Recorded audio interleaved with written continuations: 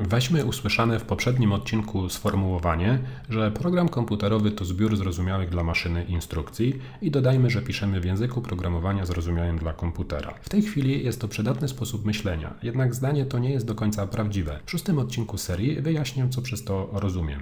Jeśli jednak chcemy zacząć pisać tę listę instrukcji na komputerze, mamy do dyspozycji szeroki wybór różnych języków programowania, których możemy użyć, takich jak C, C++, C Sharp, Java, JavaScript, Ruby, Python, PHP, Swift. Porozmawiajmy o tym, dlaczego jest ich tak wiele.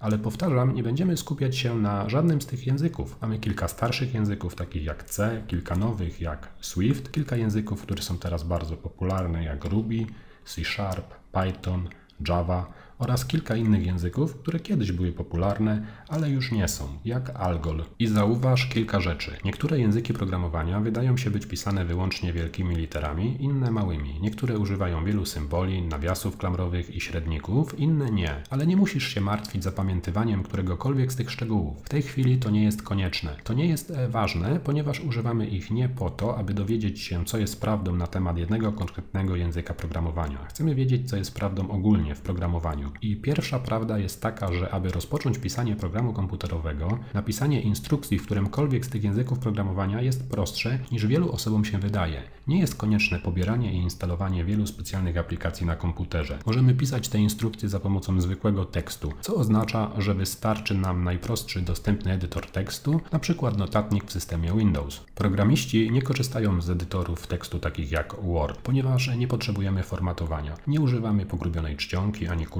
ponieważ języki programowania nie zwracają uwagi na wygląd tekstu. Po prostu chcą zwykłego tekstu. Niezależnie od języka programowania istnieje inny termin, którego będziesz używać do określenia instrukcji języka programowania zapisanych zwykłym tekstem. Ten termin nazywamy po prostu kodem źródłowym. A kiedy programista mówi Ci, że spędził cały dzień na kodowaniu lub cały dzień na pisaniu kodu, to ma na myśli właśnie pisanie kodu źródłowego. Pozwól, że coś Ci wyjaśnię. Powiedziałem, że do napisania tego kodu źródłowego nie jest potrzebna żadna specjalna aplikacja, żadne specjalne oprogramowanie. I to prawda, ale często jednak go potrzebujesz, aby przyspieszyć swoją pracę. Istnieją aplikacje, które możesz zainstalować na swoim komputerze, które ułatwią Ci życie. Większość programistów nie używa tylko zwykłego notatnika. Mamy wyspecjalizowane edytory przeznaczone dla programistów, które dodają takie rzeczy jak kodowanie z wyróżnieniem składnie różnymi kolorami i mogą pomóc w poprawianiu prostych błędów w programowaniu w taki sam sposób jak edytor tekstu może pomóc w pisaniu wielkich liter. Obecnie dostępnych jest wiele takich edytorów, różnych dla różnych języków i różnych systemów operacyjnych.